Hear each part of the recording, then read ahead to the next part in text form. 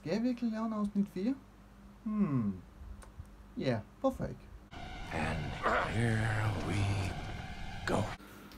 What's up guys, det er Stars Miracle, og i dag der er jeg simpelthen tilbage med afsnit 4. Jeg ved ikke, hvor længe siden det er sidst, jeg tror det er to år siden eller noget. Jeg vil først lige, lige sige, at øh, beklager, hvis, det er, hvis jeg er svær at høre, men øh, jeg er nødt til at have min blazer i gang, fordi jeg har meget varmt lige nu. Fordi, så hvis det kan også være, at jeg kan lyde lidt underligt, fordi der er så varmt her. Fordi det er fuldstændig latterligt at være i Danmark lige pt. I hvert fald lige, lige det her tilfælde. Nå, men i hvert fald, der er mange selvfølgelig, der har efterspurgt mig, om jeg vil snart lave en fire, eller, eller stykker i hvert fald.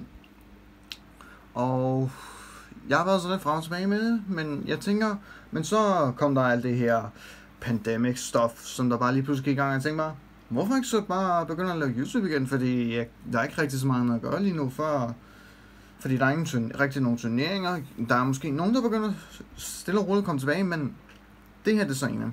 Så jeg sagde, hvorfor ikke lave en ny afsnit? Og jeg vidste ikke lige rigtigt, hvad det sådan skulle handle om, men jeg vidste, hvad titlen skulle være, så derfor er den som den er. Og jeg har tænkt mig at åbne en øh, boks af Rise of the Lost, jeg har selvfølgelig nævnt i afsnit 1, at øh, lad være med at åbne pakker og købe single selvfølgelig, fordi øh, så garanterer du, hvad du vil have, i stedet for at gamble det. Men øh, jeg vil gerne prøve at lige vise jer, hvorfor det er. Men øh, jeg køber, jeg har lige købt en boks, fordi jeg kan faktisk godt lide det her sæt generelt. Der er faktisk mange gode kort i. Hvis ikke, hvis ikke I har mit held og er virkelig uheldig, så kan I gang, så skal købe sådan en her så skal det bare være en boks. Det skal helst ikke være nogen pakke, det skal bare være en boks, fordi sådan, så får I mere ud af det. Og mere hygge for det.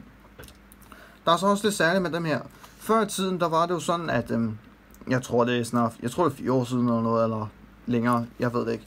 Jeg kan ikke huske det. Men øhm, der var det jo sådan, at øhm, der var du ikke garanteret et øh, glimmerkort. Det er du i dem her. Der er du garanteret et glimmerkort i alle pakkerne. Men du har garanteret to Secret Rares, 4 Ultra Rares og 18 Super Rares i det her sæt. Så jeg kan godt lide sættet her generelt, fordi der er mange gode kort i, så jeg tænker bare, at vi får den åbnet med det samme. Og så lige få snakket lidt, mens hvad, hvad der vil ske fremadrettet. Om der vil komme, om det her så vil fortsætte med en afsnit 5. Muligvis. Jeg ved bare ikke lige, hvad det er, fordi jeg løber tør for idéer meget hurtigt, så det skal jeg finde ud af. By the way, hvis nogen af jer er en del af de der sidste 100 subs, jeg manglede, så tusind tak for det. Det var meget herligt at komme på 100 subs. Men uh, jeg tænker bare, at vi får lige den her ud med det samme. Fordi normalt, så er det jo selvfølgelig randomized det her med pakkerne. Men nu er så lige sådan, at der, der er altså noget med, at um, så kan det være, at top, toppen af pakken er Secret så jeg tænker, at jeg lige øh, blander dem her en lille smule, og så kommer jeg lige tilbage til jer. Så er de blevet blandet, bare for som jeg synes i hvert fald. Så jeg tænker mig, at vi åbner dem stille og roligt, og så ser vi, hvad vi får. Igen, der er altså et eller andet, men når jeg siger, lad være med at købe pakker, så trækker jeg bare godt. Men øh, sådan er det nogle gange, så vi har en Dark Lord, en øh, uh, Ignite, det er et rigtig godt deck, by the way. Endnu en Ignite, eller Inferno Monarch hedder det. Og så har vi, er det en Super Rare der? Ja, det er det, Dragon Maid Time, Titan? Jeg er dårlig til at navne, så... Oh, der var et godt kort Dragon Punishment hvis øh, I trækker sådan en her, så hold gerne på den, fordi jeg tror godt nok, den kan blive, den er meget god lige nu. Nå, ikke det mest interessante, men igen. Jeg har sørget for, at vi ikke trækker Searasten som der var første. Så, lad os se her. Øh, uh, Damarca, ikke det helt bestemte Dark Lord. Herfor, og uh, Ancient Warriors. Øh, meget interessant archetype faktisk de, har, de kunne have potentiale, hvis det var, at kortene gjorde lidt mere, end hvad de allerede gjorde. Så ikke det mest, interess ikke det mest interessante, men stadig en interessant archetype, vil jeg også sige. Hvad er det, der gør egentlig de her, de her nye bokse så særligt her? Det er simpelthen fordi, at der er det, man kan øh, melde. øh, Megaloth, hedder altså, det. Øh, øh det er sådan en archetype. Um, øhm, det der er særligt ved dem, det er, at man kan trække det, der man kalder for en starter rare, som er en ny rarity faktisk. Og øh, ja, så er der en puppy. Um, det der er særligt med de, lige præcis den, det er, at lige præcis den, der, fordi den rarity, det er en per anden case. I hvert fald, hvad ratioen var på det. Hvilket vil sige, at du var garanteret du, eller du var ikke garanteret, du kunne måske. Og her har vi den første ultravær. Øhm, um, Ontario Catapult Turtle, tror jeg, der udtages, men igen, som sagt, jeg butcher name meget hårdt, så ja. Men uh, den rarity var, var selvfølgelig garanteret, eller ikke garanteret, at du kunne være heldig at få sådan en.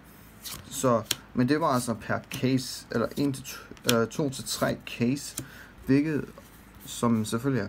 Men, øh, åh, ingen punchman, nice. Men uh, en case, det er ikke en box, det er per kasse af 12 bokse. Så det var i hvert fald, så ratioen på det var sådan 1 til 24 eller noget. Det var eller fuldstændig ridiculous noget. Men ikke de mest interessante pulls. Vi har fået en ultra indtil videre, så... Jeg mener, og vi har fået to Dragma Punchman, hvilket faktisk okay. Jeg vil ikke sige, at pulsene har været dårlige, men vi har ikke kommet til nogle af de gode ting endnu. Men også fordi, som sagt, jeg har blandet bare så jeg har ingen anelse, hvordan de er sat op. Så er det Suveran? Ja, det er det åbenbart. Øhm, Speedroid. Ja, skud over til Big Boss, by the way. Nice kort. Men øh, i hvert fald, som sagt, jeg ved ikke, om der kommer til at fortsætte øh, med en ny episode her. Jeg selvfølgelig skal komme på idéer. Der er selvfølgelig en ting med det. Øh, det er kort, ikke? Jeg ved ikke, hvor lang tid det her har været, har været i Japan. Men øh, det har været en lang tid i hvert fald. Og endelig får vi det, og ting gør ingenting og ingen årsag. Jeg ved ikke, hvorfor det tog så lang tid. Men om der kommer en ny episode, om der kommer en episode 5 på et tidspunkt, jeg skal ikke kunne svare på det. Jeg ved bare, at jeg skal selvfølgelig det. Og hej, her har vi en win. Wind the Wind Charmer. Um, øhm, umiddelbart vil jeg ikke sige, at det er sådan den bedste ultra, men den kan måske være relevant, alt, fordi jeg ved, at Charmerne får et structure deck på et tidspunkt, jeg ved bare ikke, hvornår. Uh, det, jeg ved, det er ude i Japan lige nu, men om, det, hvornår, om vi får det eller noget, det aner jeg sgu ikke. Men øh, uh, Thunderhand, jeg synes, jeg får mange af de samme på samme rækkefølge, faktisk. Altså her har vi endnu en Dragonmate. Interessant. Men øh, igen, som sagt, jeg har det lidt, så jeg har ingen anelse, hvad der kan være i. Her har vi en, en øh, af Damorica Nexus. Det er faktisk, altså, det er ikke et dårligt kort, men det er stadig ikke sådan rigtig noget, man sådan vil sige, uh, fantastisk skud til Big Boss igen, mand. Wow. Jeg tror, det er sådan nummer to, jeg troede. Okay. Det er også den første halvdel af den. Det kan også være, at der er flere pakker den anden side, fordi som sagt, jeg har blandet dem, så jeg har ingen anelse, hvad der kan vente her. Der kan selvfølgelig være hvad som helst. Fright det er et okay kort. Uh, Noble Arms. Mm, jeg ved, en Noble Knight spiller en masse Pokémon, men jeg kan ikke huske, at spiller den her. Det kan også være så fejl. Oh, by the way. Spire Fusion. Nogen kan måske genkende Curse of Dragon og det er ikke Gaia the Fierce Knight, mener jeg. Det kan også være, så fejl. Men uh, det er basically gammel... Uh, ga i kan jo selvfølgelig se, at det var Guide Dragon Champion, eller... Det, ja, der hedder noget men jeg kan bare ikke huske, hvad det hedder. Fordi det er ikke noget, der interesserer mig, fordi hvis det ikke er sådan noget, der er godt, så er det ikke sådan noget, der sådan interesserer mig for det meste. Men interessant, at de prøver at bygge op på, på gamle, på gamle ikoniske kort, eller serier, kan man kalde det for, og så bare lave dem til en bedre version af sig selv. Altså, jeg synes, det er meget interessant, faktisk. Altså, og tingene er interessante selvfølgelig, fordi det vil gerne selvfølgelig gøre det mere interessant for folk. Selvfølgelig. Og der har vi den første... Oh. Jeg mener, den her er meget værd, faktisk. Maximus. Øh, jeg ved... Der må, jeg ved i hvert fald, de skal bruge... Jeg ved i hvert fald, der må kan bruge minimum 1 til 2 af den her. Nogle spiller 3, men jeg er ikke helt sikker på, at det alle sammen var resten egentlig. Øh, jeg synes, jeg får den her. Jeg synes, jeg får de andre traps, at der må komme ofte. Men øh, ikke dårligt trukket faktisk. Det er meget godt kort. Jeg har selvfølgelig bestilt en af mine, fordi jeg kan lige så godt garantere mig dem med det samme. Men øh, ikke dårligt faktisk. Slet ikke dårligt. Det er i hvert fald egentlig bedre Secret Rares. Det skal jeg lige love for. Så det er meget interessant det her. Um, overall, det, okay, så har vi allerede mere support. Fint nok. Um, øhm, Raid Raptor, Arsenal Falcon. Ja, jeg synes, det tog lang tid for de her Xyz at komme over. Der er selvfølgelig endnu en Xyz Raid Raptor her. Jeg ved, den er super rare. Ja, altså, jeg synes bare, det tog lang tid for dem at komme her. Så det var for mig. Det var bare mig, der synes det. Jeg ved ikke, om I synes, at det er okay selvfølgelig, men... I don't know. Men... Overall, næste pakke. Lad os se. Jeg kan selvfølgelig være heldig at trække en Star Rare. Jeg kan også, som sagt, jeg kan også være heldig at få noget af det der. Jeg synes, jeg får mange duplicates af de her plantorums lige nu. Inferno Knights, og jeg, jeg har ikke kigget på de her Inferno Knights dækstrategier og noget, for at se, hvor mange der egentlig, for at se, hvad de spiller, ration af diverse ting selvfølgelig, det ved jeg ikke noget om. Så jeg skal ikke kunne svare på, hvad der er godt af det eller ej. Det, jeg mener, at den her blev spillet, men jeg er ikke sikker. Nemesis Keystone. Der var en Nemesis her, der var virkelig god lige indtil der kom en forbindende limited list, som gjorde den fuldstændig virkelig skøjet lige i sidste ende. Bare sådan, den så god ud, men det blev så ikke alligevel. Så det var meget surt. Mega Drive, og der var den anden Zero Rare. Nej. Titanium The Ash Dragon. Øh, spændende. Jeg skal ikke sige, at den er dårlig, men den er i hvert fald... Den er i hvert fald decent. Så jeg ved ikke, om det her det er decent value, men der er i hvert fald meget Damorica i hvert fald. Så det var i hvert fald Zero Rassen. Så det eneste, vi mangler nu, Ultra Rassen.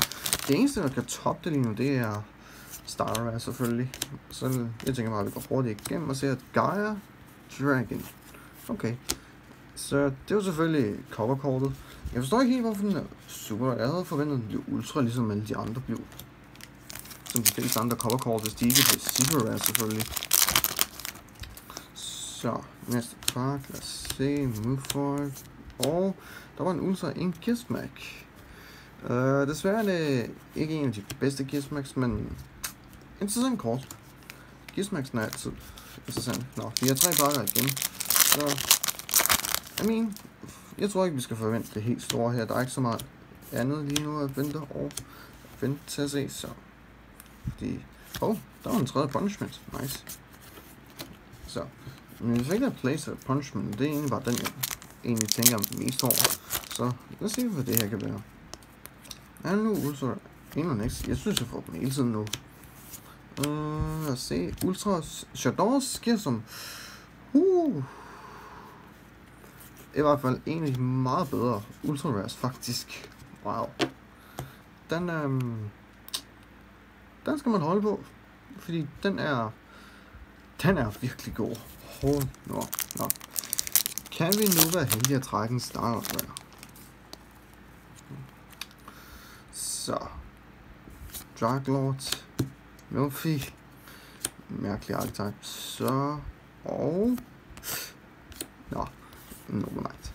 Eller Inferno Knight. Duh. Nå. Men uh, overall, I mean, jeg vil ikke sige, at det var dårligt trukket. Men det er hverken... Jeg vil heller ikke sige, at det er godt. Det er så lige det, jeg kan sige om det. Men i sidste ende... I mean, at trække det her faktisk okay. Jeg vil sige, at det her har faktisk okay decent value af det, vi trak. Så cigaretterne var ikke dårlige det var bare ultra der var lidt lat, der var en lille smule lackluster faktisk, fordi jeg trak jo Gizmek, øh, hvor den, hvor den næste, den er Windcharmer, og Calabot.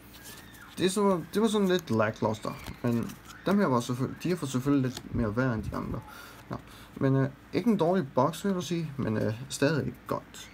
Så, men øh, guys, tusind tak fordi I så med. Husk at like videoen subscribe til kanalen, så vi kan rulle, hvad, 150, tænker jeg, bliver det næste. Så. Men øh, i hvert fald, guys, tak fordi I så med, og vi ses næste gang.